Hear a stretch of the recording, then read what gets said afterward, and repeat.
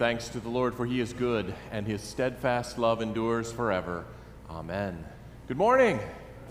I'm Pastor Eric Kenaugh. It is wonderful to gather here with you and worship uh, as we celebrate this end of the Easter season. Next Sunday, uh, we reach Pentecost. Um, and it's always struck me as interesting that the end of the Easter season, uh, the appointed readings are actually about suffering and putting suffering in perspective, which you wouldn't think of as an Easter topic uh, but it wonderfully does uh, weave in. So, we're going to talk about um, how to understand suffering when it comes today. In light of that, I have chosen a significant number of hymns today that you have probably never seen. When Sharon has to learn two of them, you're going to want your hymnal open. so uh, do follow along in the hymnal. A lot of the hymns are, are fairly new, they're beautiful. Um, but, uh, but we'll be uh, singing them, most of us, for the first time together this morning. We also celebrate Christ as he comes in his body and blood. And to remind you to review those questions and statements on the front of your service folder that are there to help you prepare your heart to receive Christ as he comes among us this morning. We join our voices in our opening hymn. We'll remain seated for the first three stanzas and we'll rise for the final stanza of the hymn. Hymn number three, 539.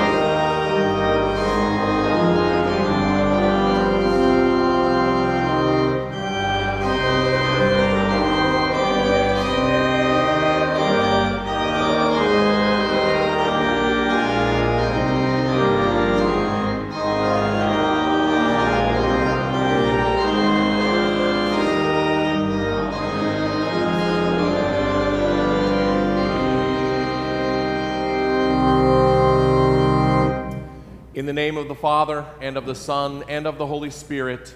Amen. Alleluia, Christ is risen. He is risen indeed. Alleluia. Let the word of Christ dwell in you richly, teaching and admonishing one another in all wisdom, singing psalms and hymns and spiritual songs with thankfulness in your heart to God. Pay careful attention to yourselves and to all the flock in which the Holy Spirit has made you overseers, to care for the church of God, which is obtained by his own blood. Alleluia, Christ is risen. He is risen indeed. Alleluia. Let us confess our sins to God our Father, confident that he will hear and forgive us for Jesus' sake. Most merciful God, we confess that we have not always been proud to bear your name. At times we crumble in the face of trials that come our way. We allow worries and anxieties to crowd out your caring presence. Keep us in your name, which you have given us in baptism, and forgive us our sins for Jesus' sake. God hears our prayers and forgives our sins because of Jesus' perfect life, death, and resurrection. At the command of Christ and through the power of the cross and the empty tomb, I forgive you all your sins in the name of the Father and of the Son and of the Holy Spirit. Go in peace. Alleluia. Amen. this is the feast of victory for our God. Alleluia.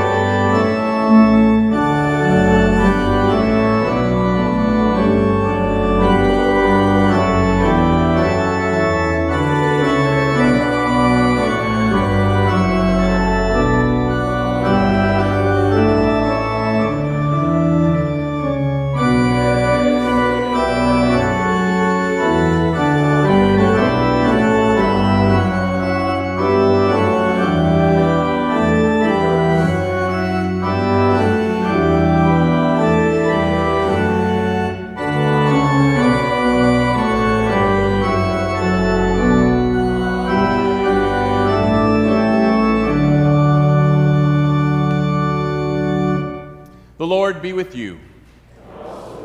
Let us pray. O King of glory, Lord of your church, you suffered on the cross and defeated death and the devil for us. Make us one as you and the Father are one.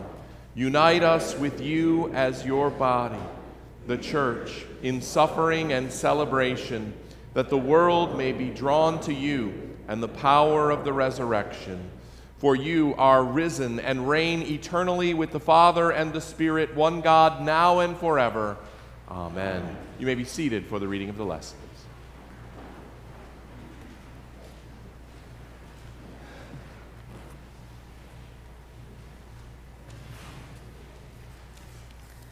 The first reading is from Acts chapter 1.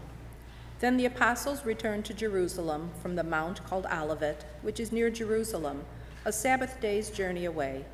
And when they had entered, they went up to the upper room where they were staying Peter and John and James and Andrew, Philip and Thomas, Bartholomew and Matthew, James the son of Alphaeus, and Simon the Zealot, and Judas the son of James. All these with one accord were devoting themselves to prayer, together with the women, and Mary, the mother of Jesus, and his brothers. In those days, Peter stood up among the brothers. The company of persons was in all about 120, and said, Brothers, the scripture had to be fulfilled, which the Holy Spirit spoke beforehand by the mouth of David concerning Judas, who became a guide to those who arrested Jesus. For he was numbered among us and was allotted his share in this ministry. Now this man bought a field with the reward of his wickedness, and falling headlong, he burst open in the middle, and all his bowels gushed out. And it became known to all the inhabitants of Jerusalem, so that the field was called in their own language Akeldama, that is, field of blood. For it is written in the book of Psalms, May his camp become desolate, and let there be no one to dwell in it and let another take his office. So one of the men who have accompanied us during all the time that the Lord Jesus went in and out among us, beginning from the baptism of John until the day when he was taken up from us, one of these men must become with us a witness to his resurrection. And they put forward two Joseph, called Barsabbas, who was also called Justus, and Matthias. And they prayed and said, You, Lord, who know the hearts of all, show which one of these two you have chosen to take the place in this ministry and apostleship from which Judas turned aside to go to his own place. And they cast lots for them, and the lot fell on Matthias, and he was numbered with the eleven apostles. This is the word of the Lord. Thanks be to God.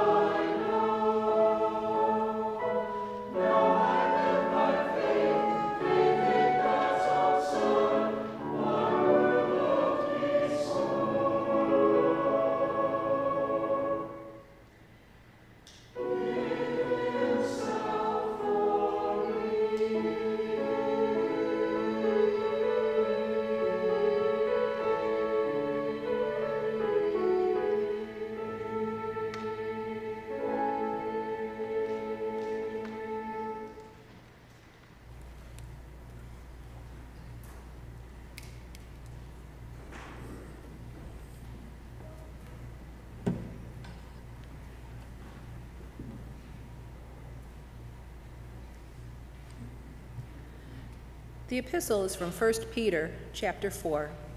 Beloved, do not be surprised at the fiery trial when it comes upon you to test you, as though something strange were happening to you. But rejoice insofar as you share Christ's sufferings, that you may also rejoice and be glad when his glory is revealed. If you are insulted for the name of Christ, you are blessed, because the Spirit of glory and of God rests upon you. But let none of you suffer as a murderer, or a thief, or an evildoer, or as a meddler. Yet if anyone suffers as a Christian, let him not be ashamed, but let him glorify God in that name. For it is time for judgment to begin at the household of God. And if it begins with us, what will be the outcome for those who do not obey the gospel of God? And if the righteous is scarcely saved, what will become of the ungodly and the sinner? Therefore, let those who suffer according to God's will entrust their souls to a faithful Creator while doing good. Humble yourselves, therefore, under the mighty hand of God, so that at the proper time he may exalt you, casting all your anxieties on him because he cares for you. Be sober minded, be watchful. Your adversary, the devil, prowls around like a roaring lion, seeking someone to devour. Resist him, firm in your faith knowing that the same kinds of suffering are being experienced by your brotherhood throughout the world.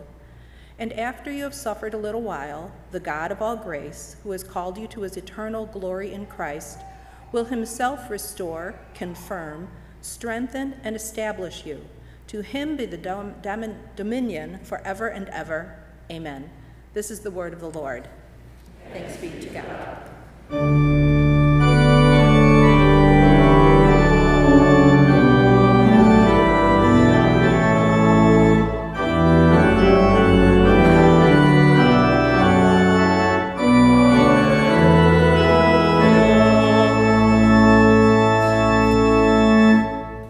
Gospel according to St. John, the 17th chapter.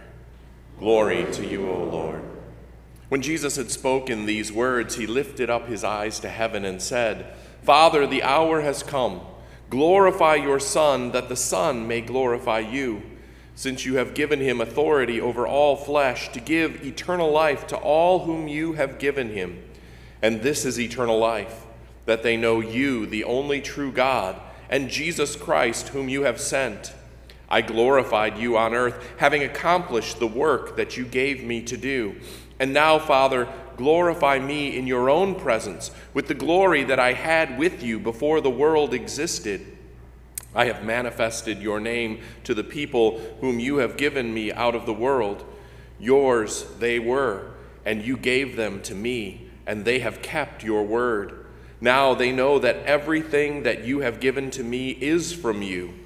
For I have given them the words that you gave me, and they have received them and have, and have come to know the truth that I came from you, and they have believed that you sent me. I am praying for them.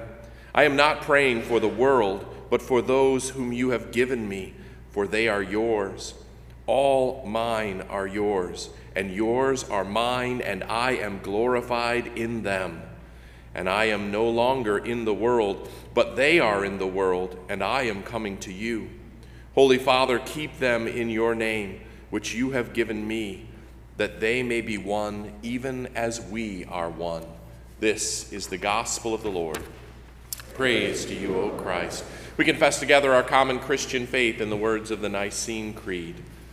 I believe in one God, the Father Almighty, maker of heaven and earth, and of all things visible and invisible, and in one Lord Jesus Christ, the only begotten Son of God, begotten of his Father before all worlds, God of God, light of light, very God of very God, begotten, not made, being of one substance with the Father, by whom all things were made who for us men and for our salvation came down from heaven, then was incarnate by the Holy Spirit of the Virgin Mary, and was made man, and was crucified also for us under Pontius Pilate. He suffered and was buried, and the third day he rose again according to the Scriptures, and ascended into heaven, and sits at the right hand of the Father. And he will come again with glory to judge both the living and the dead, whose kingdom will have no end. And I believe in the Holy Spirit, the Lord and giver of life, who proceeds from the Father and the Son, who with the Father and the Son together is worshiped and glorified, who spoke by the prophets. And I believe in one holy Christian and apostolic church. I acknowledge one baptism for the remission of sins and I look for the resurrection of the dead and the life of the world to come. Amen. You may be seated. I invite the boys and girls to come forward for a children's message.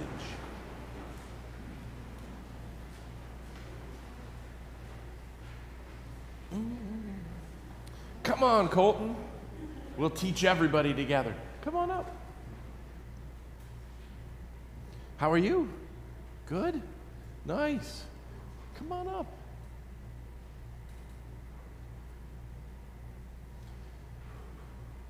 Welcome. You guys can have a seat here. Wow. Well, today we have kind of a hard topic. We're talking about trouble. When things get a little scary, do things ever get scary?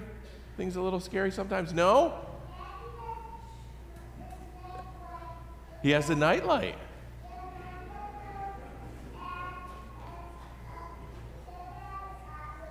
Yeah. Yeah, that's good. Yep, and, and having a nightlight at bedtime is good because sometimes the dark can be a little scary and we like to see what's around us and know that we're safe, right? that's okay. Yeah, it does put a little shadow out there. Yeah, that's awesome. Well, that's actually really good because that's kind of what we're talking about today is what do we do when things get a little scary? What do we do as people who are baptized, right? As people uh, who follow Jesus, you know what? We remember that Jesus said, I am with you always. Would you feel safe if Jesus was standing right next to you, you think, Colton? Yeah, if Jesus were right there, I'd feel really safe because I'd know that he was smart enough to solve every problem and strong enough to defend me no matter what happened. And so when things get a little scary sometimes, it's important to remember that Jesus is actually with you, that he's there to protect you. One of the things that Jesus called himself was the light of the world, reminding us that when things get dark, like a night light, Jesus helps us see what's really there. Sometimes in the dark, those shadows can look kind of scary because you don't know what's making it. And then the nightlight comes on, and you realize that it's just a stuffed animal, or it's just the way the couch is sitting today, and suddenly it's not scary at all. And so we need to remember that Jesus is with us to make sure that we always feel safe. And you know what? When I'm scared, there's a really simple song I remember, and I know that you probably know this song, but it makes me feel better. Do you know the song Jesus Loves Me? When I sing the song Jesus Loves Me, it reminds me that Jesus is there and He helps me see what's really there like a light and He keeps me safe. So, why don't we sing that together to remind ourselves? And then maybe when things get a little scary, you can remember that song and remember that Jesus is with you. Will you sing it with me? Ready? Jesus loves me, this I know. For the Bible tells me so. Little ones to him belong. They are weak, but he is strong. Yes, Jesus loves me. Yes, Jesus loves me. Yes, Jesus loves me. The Bible tells me so. You know that song, right? So when you get a little scary, you can remember that, and that reminds you that Jesus is with you and you have no reason to be afraid. So let's pray, all right? I'm going to say part of a prayer, and you say it up to God. Say, Dear Jesus, dear Jesus, thank you for being with me. Thank you for being with me. Help me, help me to find strength in you to find strength in you when I am afraid, when I am afraid. In your name we pray. In your name we pray. Amen. Colton, can you give me five before you go? All right, good job. Can you go give me five? You can give me a truck five. Even better. Good job. Awesome. As they return, we join in our hymn of the day, hymn number 682.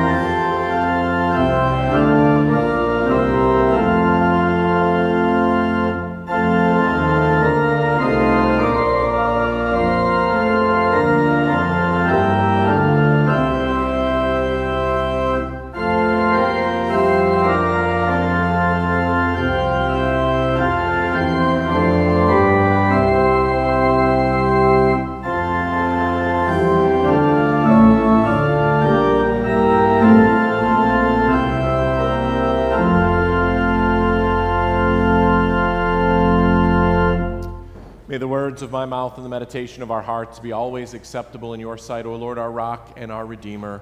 Amen. Peter talks to us today about the challenges of suffering. Suffering comes in many forms in our world, It can come simply through the world economic downturns. Uh, I remember particularly the challenges when Enron went under, and a number of people I knew who were near retirement who saw everything fall apart and realized they were going to have to continue working after they thought they were going to be finished.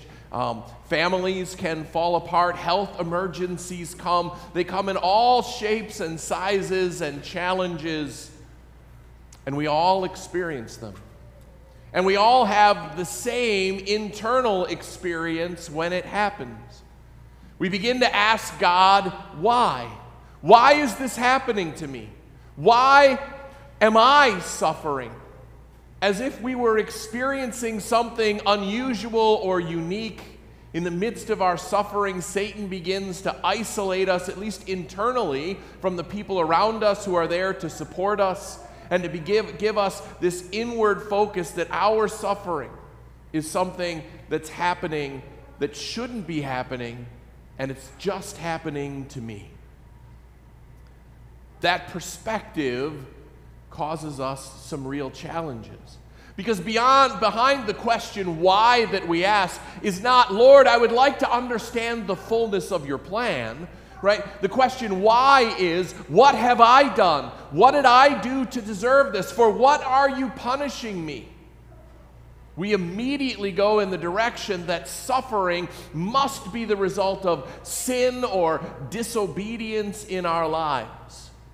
And Scripture tells us over and over and over again that that is not actually true.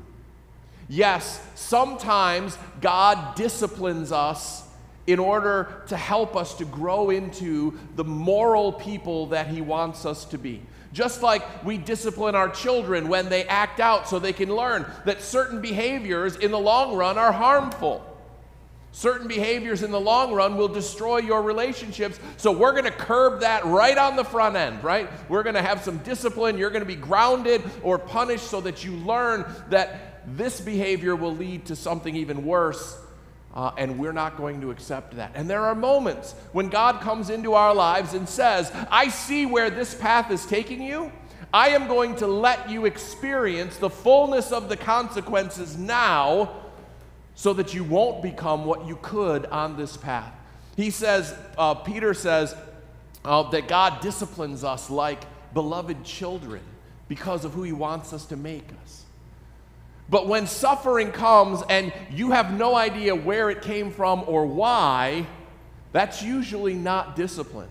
My experience with God's discipline is when it comes, I know pretty quickly exactly what it is that God's talking to me about. I know exactly what I did or said or thought or the attitude that was inappropriate and exactly how this consequence is experienced because of what God is correcting in me. I've never gone through a season where God disciplined me and I had no idea what the problem was. Almost always on the front end, I knew exactly what it was.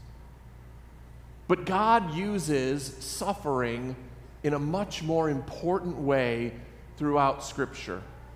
And I want you to think about it like this I have tried for years, and my physique demonstrates the great effort and length I went to to demonstrate that you can get stronger on the couch.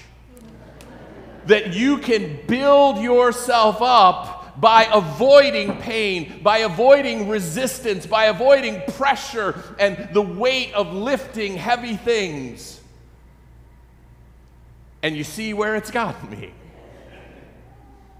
The reality is, our bodies need heavy things to come along to strengthen us. Our bodies need us to have resistance and pressure so that our muscles can grow, so that our body can be strong and healthy. And without resistance, without pressure, without a little bit of struggle, you will not be as healthy as you could be. Your body will not be all it can be. And you will not be able to do things that you would like to be able to do or feel you should do. I can't run out on the basketball court right now and go up and down that court three or four times without needing to stop. And I would like to be able to play for an hour. I used to be able to play for an hour, right? So, what do I need to do? Avoid more pressure? Or do I need to get out there and start running? Do I need to get to the gym? Do I need to build a regimen that allows my body to grow stronger by intentionally experiencing resistance, by intentionally lifting the weight of heavy things, and developing my body in the way that God would want it to be developed? The same is true for our spiritual lives. To be all that we can be for Christ, to be all that God wants us to be, we actually need resistance. Ease, spiritually sitting on the couch, does not lead to a strong and vital and vibrant spiritual life. It leads to a spiritually flabby life to weakness. And when the challenge comes that you want to be able to do, when God offers you an opportunity to step up that's going to be difficult, if you haven't built yourself up spiritually to that challenge, it will be just like running out on a basketball court without having run in years. You're going to get out there and try and collapse in the middle of it. And God doesn't want that for us. God wants us to be vital and vibrant and energetic in our spirit. And so it requires us from time to time to lift heavy things. The same is true for our emotional well being. If, anyone, if everyone just coddles you and tells you that everything's okay and they're going to take care of it and you never have to do any emotional heavy lifting, if you never have to support anyone else, if you never have to be strong emotionally, you're not going to have the capacity to when the trial comes. And so we need to lift heavy things for the sake of our spirits and our emotions. We need to be having resistance in our lives so that we grow stronger and become the kind of people that God truly wants to use. As Paul would say, so that we can spiritually run the race that's set before us. And Paul tells us in that passage that to spiritually run the race set before us, we have to train ourselves. When we see suffering and trials and difficulties come, we often shout, Woe is me, this isn't supposed to happen. And Jesus is instead saying, What I really want is for you to grow stronger. What I really want is for you to become the kind of person that can live up to the challenge and the kingdom work that I have for you that's way up here. And so I'm going to give you these challenges so that you learn how to be that person so that you grow strong enough to accomplish God's will in the big thing. Because He doesn't just let you sort of meander through your life and then drop the big thing in and zap you with the Holy Spirit and suddenly you're good to go. God works organically in our lives, spiritually and emotionally, the same way we need to work physically. And so rather than saying, Woe is me when the challenge comes, we need to have a different perspective.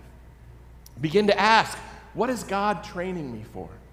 I always thought it was curious in the Old Testament why God, having revealed his great work and the great faith that David had in slaying Goliath, then had David sit in Saul's court to be abused by the king for years, to have to play music when he would get in his depressive rages, and then to run away from him when the king was trying to take his life. Like, what is that all about? But if you go through and you look at it, what you see is through all of those trials, through all of that suffering, in its increasing greatness for David, grew him from a shepherd boy with the faith to kill a giant to the kind of man who could lead a kingdom to the pinnacle of its greatness.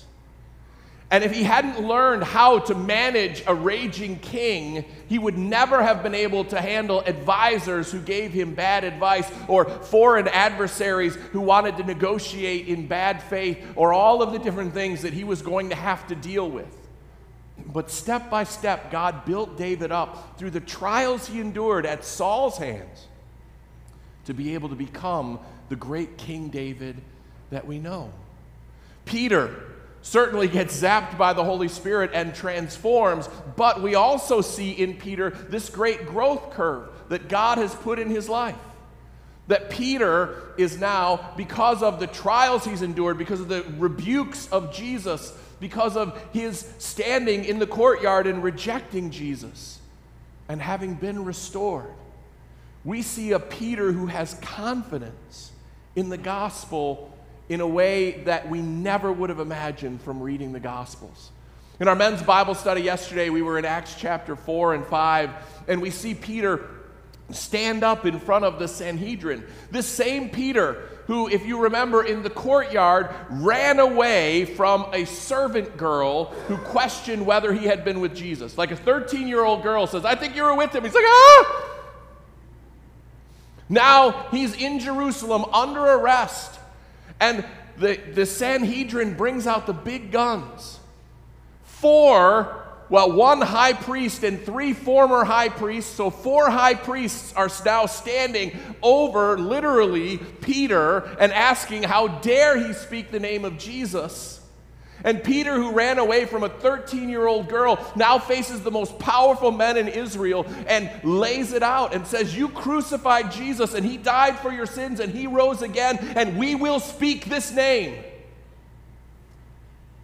How did that happen? Certainly, the Holy Spirit was a part of that.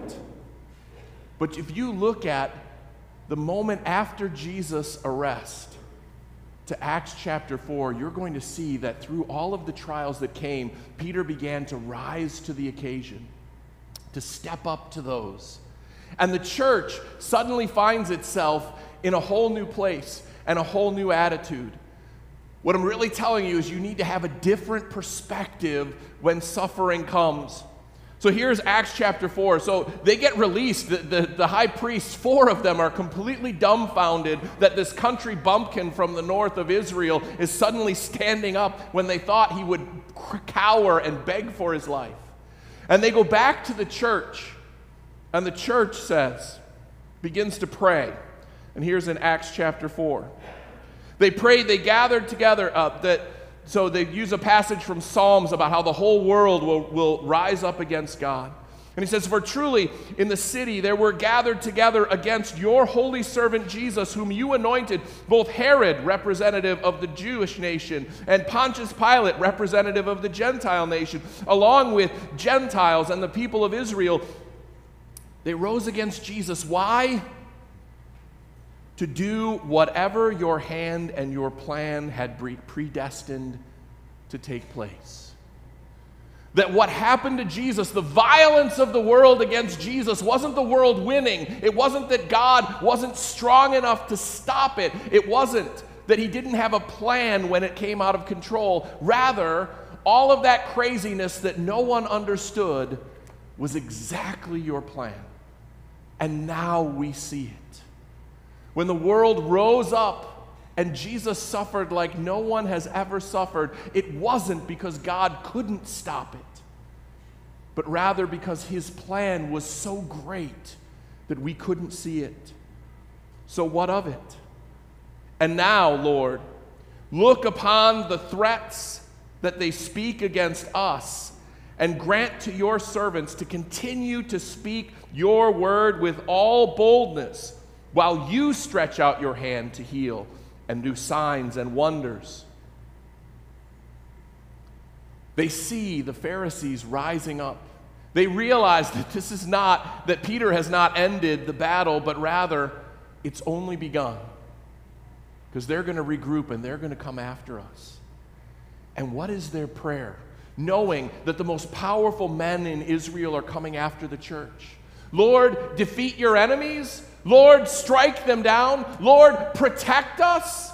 Lord, shield us. No. Lord, give us boldness. Lord, let us stand up to them no matter what. Lord, give us courage. Lord, bring it on. Can you imagine if the church stood up today instead of cowering at all of the threats of the world and said, Lord, give us boldness? Lord, bring it on. And why could they say that? Because they saw in their possible suffering the continual working out of God's plan. Not the opposite of God's plan, not things going out of control, but rather exactly what God needs in order to spread the message. And so it is that Peter says in our epistle lesson to not consider this as something strange Brothers, don't be surprised when the fiery trials come. Jesus said that they were coming. Jesus said that the world would come after us. And when it comes upon you, he says, to test you as if something strange were happening to you. But rejoice. Rejoice as you share in Christ's suffering. Throughout the history of the church, men and women of faith have seen suffering as a partnership with Christ in joining his walk down, his march down the Via Dolorosa, carrying our cross, in sharing in the suffering of the cross and experiencing some little taste of what Jesus endured on our behalf. We are in one of the first generations to see suffering as something strange, that comfort is the norm, that pleasure is the object. The world, until very recently, has assumed that suffering was the norm, that pain was normal, and moments of joy and peace and happiness were actually the strange thing that you grasped for when it came. We need again to see God's plan at work in our suffering, to realize that He uses it to grow us to increase us, to build us up to something greater that He has in store, and to realize that we share in Christ's suffering. The other part that we often miss is that we're so convinced that this life is all there is that we're trying to get everything we can out of it. And anything that disrupts the gaining of our pleasure in this life disrupts the only good we'll ever have. And can I tell you, it's the exact opposite? This is as bad as it's ever going to get. This life is as horrible as it will ever, ever be because you have a life to come. You have Christ coming. He will bring you with him to the place where he is in heaven in peace, and then he will remake this earth, and you will stand on it in a place with no more sin, no more greed, no more violence, no more anger, no more tears. We need to keep that bigger perspective in mind that, as Paul calls them, these light and momentary trials are nothing in comparison to what God has for us. So Peter ends with this encouragement, and you've probably experienced this if you think through your own life. He says, When we endure trials, that after you have suffered a little while, the God of all grace, who has called you to the eternal glory with Christ, will himself restore you have you gone through trials and been restored? Have you gone through a difficult time and found yourself back on your feet by the grace of God? That restoration, did it confirm your faith? It absolutely did. Peter says, when God restores you, you will be confirmed. Your faith will be confirmed. And when your faith is confirmed, you become stronger. Like after lifting those weights that tear your muscles apart, they will be rebuilt stronger than they were before. And in that strengthening, you will be established and become unmovable when the next trial comes. Peter tells us that going through these trials, we can look forward to the moment when we are restored. Because our faith will be confirmed, we will become stronger and better, and we will be more established in God's kingdom. May we be a people who learn how to suffer well, to see the resistance that God allows against us in the world as His plan to grow us into the mighty saints He intends us to be. In Jesus' name, Amen. Please rise as we go to the throne of grace in prayer.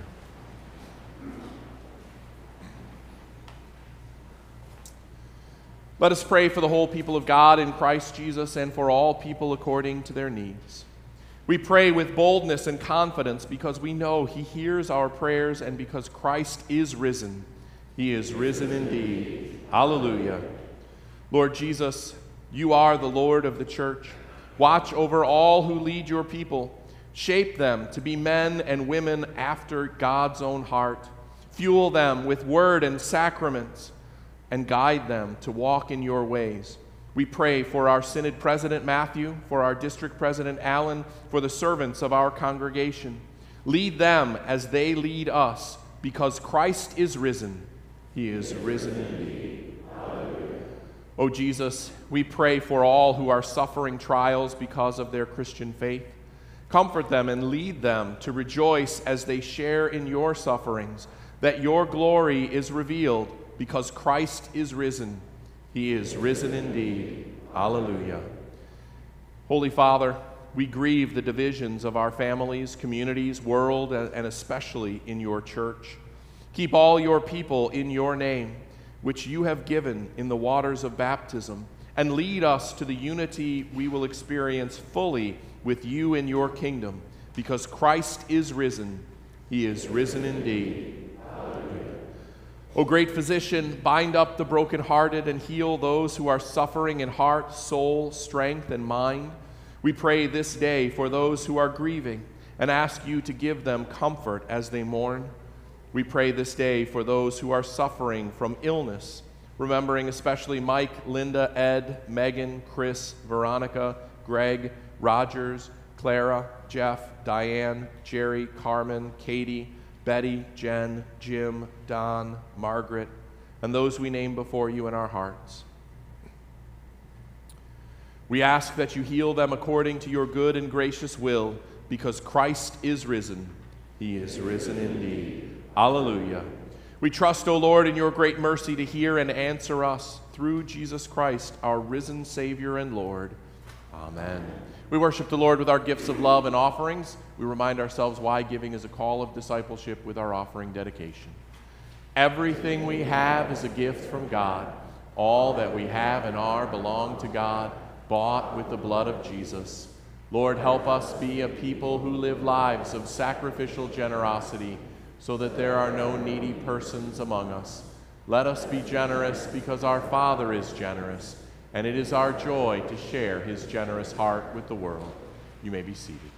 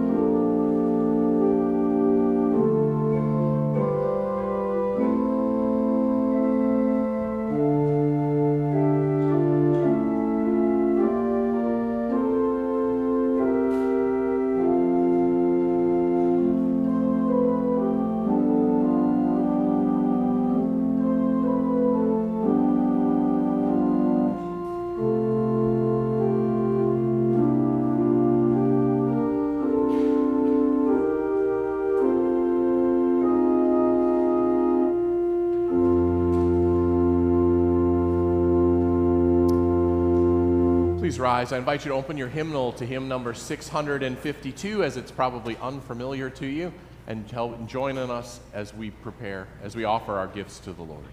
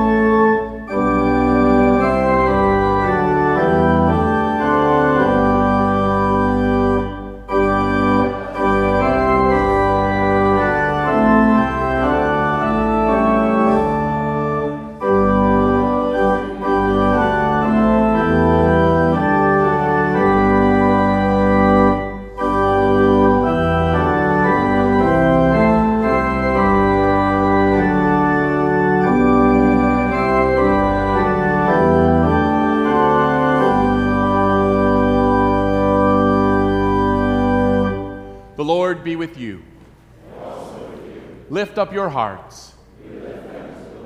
Let us give thanks to the Lord our God.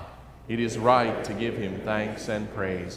It is truly good, right, and salutary that we should at every time, in every place, thank you, our God, who is our Creator and has given your one and only Son to suffer and to die for the sins of the world before rising victorious on the third day, appearing before his disciples, before ascending into heaven to lead us to your glory that awaits us.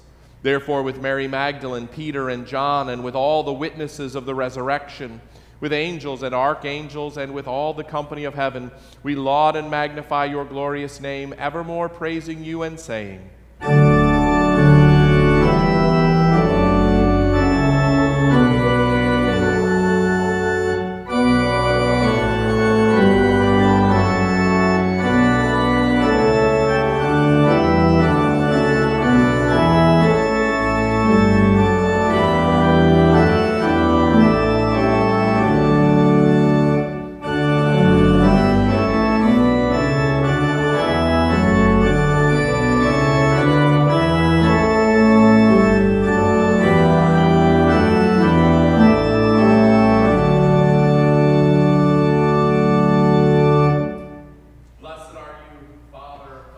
fatherless, protector of widows.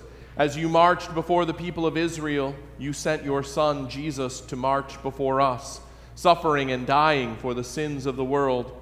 Bring us together at our Lord's table today as we eat this bread and drink this cup, proclaiming the Lord's death until he comes. To you alone, O Father, be all glory, honor, and worship with the Son and the Holy Spirit, one God, now and forever. Amen. Taught by our Savior, we are bold to pray. Our Father, who art in heaven, hallowed be thy name. Thy kingdom come, thy will be done, on earth as it is in heaven. Give us this day our daily bread, and forgive us our trespasses, as we forgive those who trespass against us.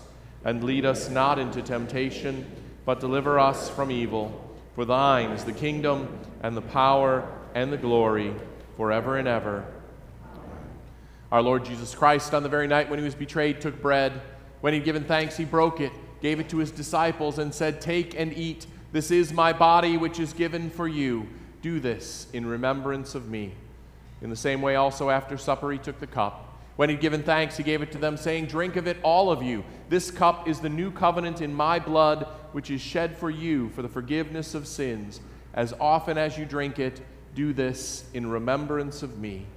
The peace of the Lord be with you always. Amen.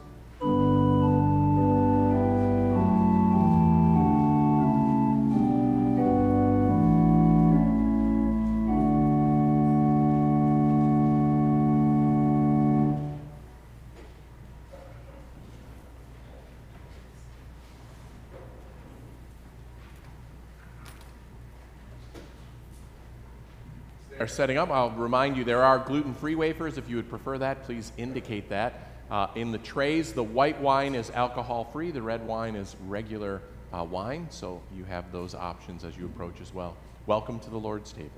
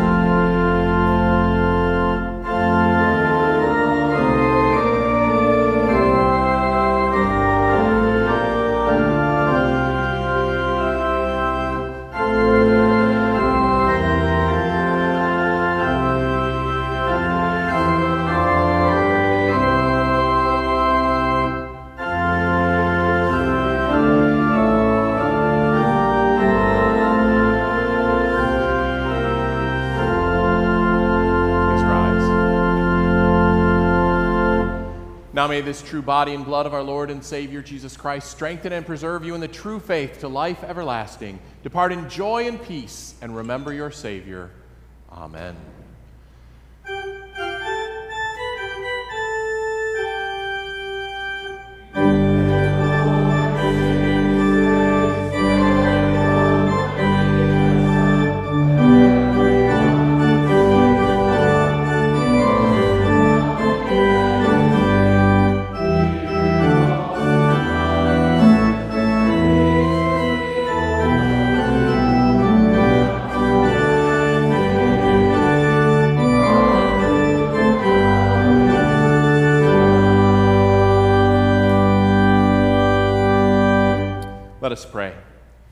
Thank you, Jesus, for gathering us at your table as an oasis for our parched and weary souls.